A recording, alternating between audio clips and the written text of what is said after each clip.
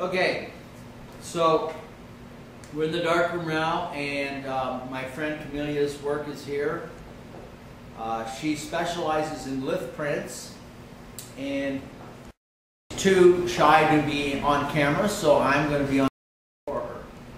Okay, so basically a lith print is a silver gelatin print that uh, uses a very uh, different type of developer. It- It's called an infectious development. But it basically it's a developer that you overexpose at the enlarger and when you process, you, you process and you look at the print. At a certain point, you snatch the print and you go into the stop bath that stops the development and then goes into the fix. And then, depending on what kind of paper uh, we're using, and today we're using Ilford warm tone paper, um, which is giving us a kind of a greenish brown look. Okay?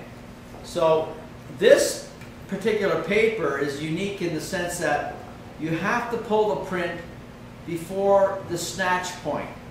And I don't, that may not make sense, but the reality is this print will explode in the fix. So you have to determine when you pull the print here in the developer. Okay, a different paper would be uh, Maco. This is a Maco paper. You see how much warmer this Maco paper is to the Ilford paper right here. So Camellia likes to use this paper, and I do too. And with this paper, we we will um, bleach and tone it and make it look quite beautiful. With the Maco paper, you see how pink it is. It already goes to a color, and um, they are quite beautiful. But um, I prefer to work with the with the Ilford paper. Uh, you know, I'm a, I'm a huge proponent of the Ilford photographic line of papers. They are the last people standing in my book, and I like their their commitment to black and white photography. So this one here, already toned, probably a finished print. Very pink, very uh, nice looking color. This one, you see how it's it, it's not toned properly yet. But boy, oh boy, wait till you see this tone. Um, it'll it'll go really beautiful, and we can make this one look like this one. So um, I'm going to go through the steps of doing that. So first off, I'm going to move from the fix. So these are setting in water right now. So basically, for lith printing, you need an enlarger, you need a negative, a developer, which right now we're using. Um, we are using the um, Maco, sorry, I'm just looking here, okay. Sorry about that. We're using the LD20 lith developer, which is here. And we bought this at B&H Photo. We could buy it at Freestyle Photo in, in California, but in, in, since we're in Toronto, the closest supplier is B&H in New York, and this is where we buy this chemical from. And they're very prompt, and you can get this chemical. And basically, with two of these, we have enough material to do one and a half days worth of printing. So this is really, this developer is really seasoned now. Um, Camellia has been here for two days printing, and she's already like 10 negatives into the job. So I'm going to make a lith print with some pretty old developer. This is old, what they call old brown, you know, which is a stupid name, but that's what they call it. And so you go into your developer, you go into your stop, and then your fix, fix, this is a wash. Then she's going to wash these prints for another hour, and then tomorrow we're going to tone them. Okay? Good. Okay, now we're going to safe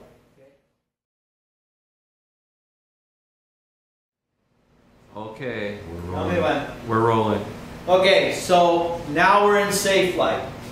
I'm at my larger workstation and right here is our developing tray.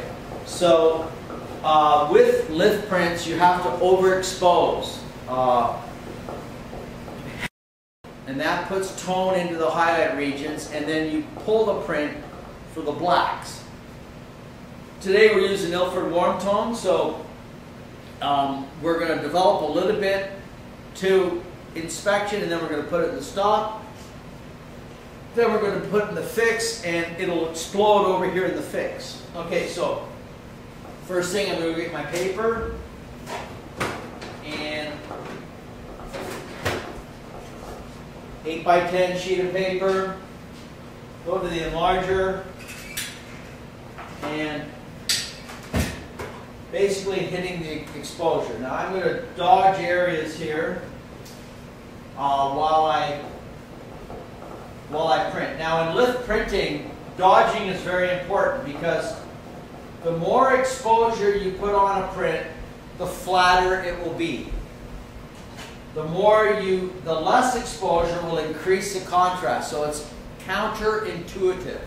You would think that, you know, uh, it would be the opposite, but it's not. Uh, so the more you expose, it will create an area of tone, which we want, and then by dodging, which I'm going into the print, I'm lightening an area, and this area of interest is going to be explode with contrast. Okay, so there's a that was a 50 second exposure. So uh, we are going to do a, almost a five minutes, so we'll start and then we'll stop, okay? Because Phil, you don't want to be filming this the whole time. So I'm putting on gloves.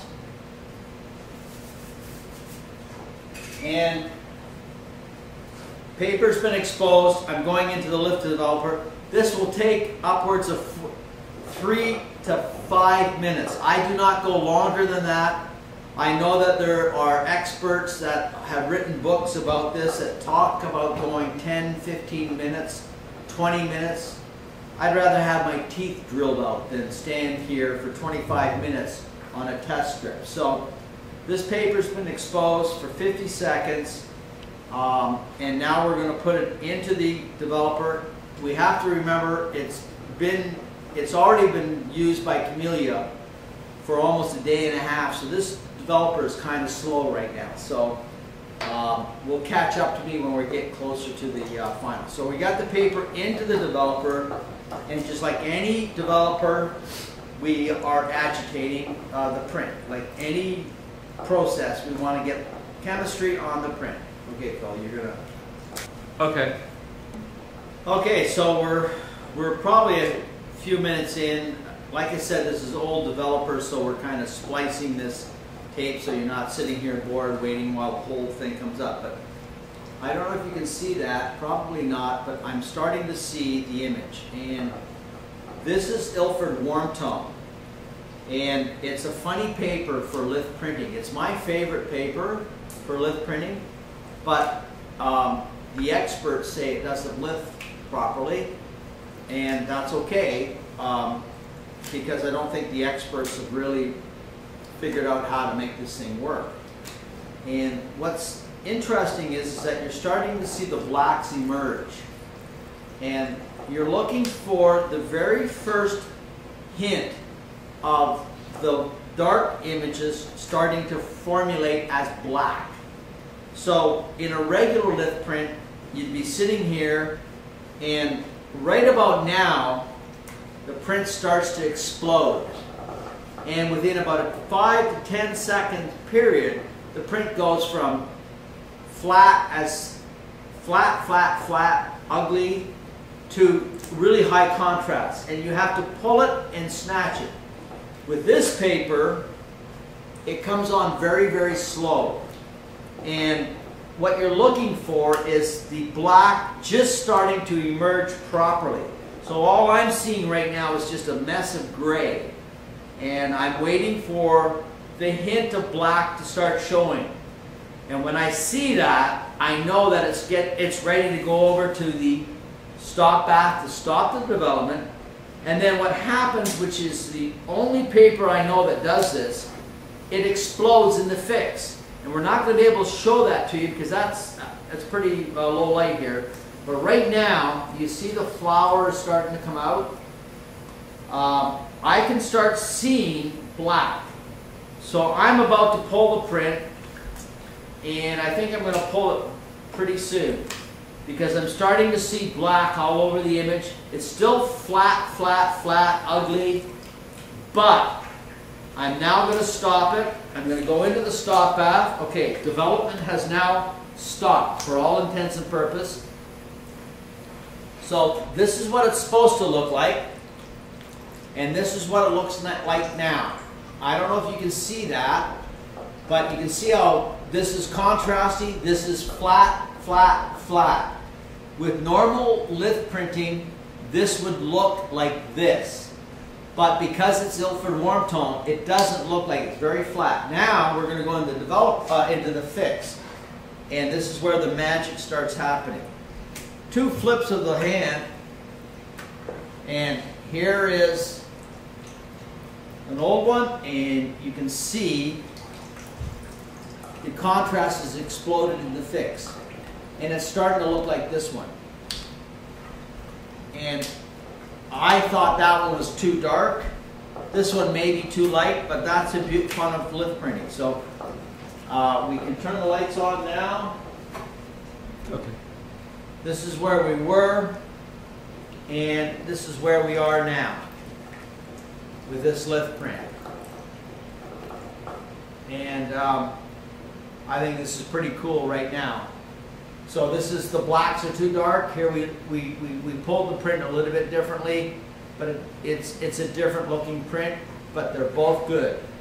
And uh, Camellia tomorrow will uh, work on these and she'll tone them and she'll decide how much sepia, how much bleaching, how much selenium, and it's part of an ongoing series she's working on. So uh, this show is showing in Utah in, in, in two months. You know, and, and we are now in February 2014. So by the time you see this video, the show will already been up and gone. But the reality is, uh, lith printing is a lot of fun. Uh, it's it's kind of complicated, but it's also quite easy, and it's it's, it's a hell of a lot of um, uh, fun to work with different papers and different chemistries.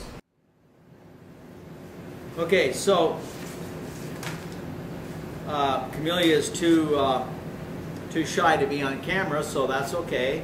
But this is her portfolio getting ready for the Utah show. So these are Ilford warm tone prints, and uh, they're very small, delicate little prints.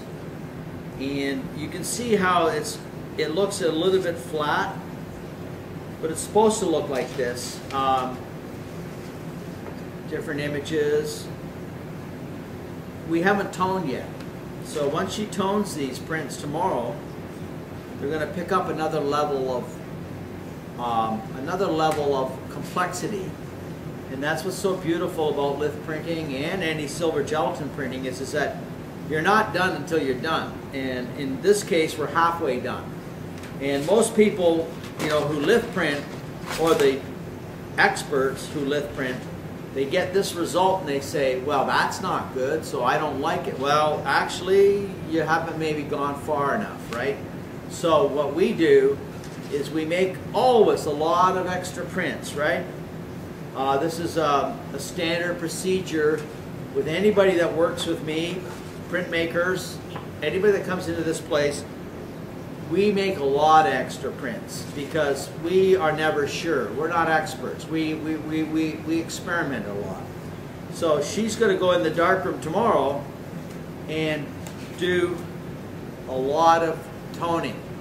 For example, here you have two different types of prints. One's completely dark and looks like shit, and one that is looks normal and then we have another lighter one and a couple lighter like this. So the idea is, why would we throw this one out? Okay? Because somebody will like this print. Maybe Camellia, maybe she won't.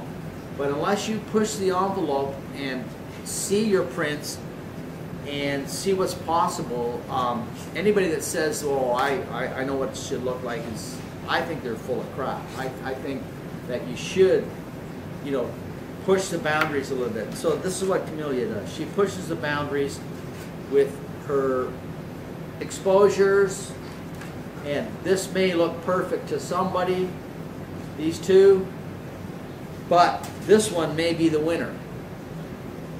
How do you know?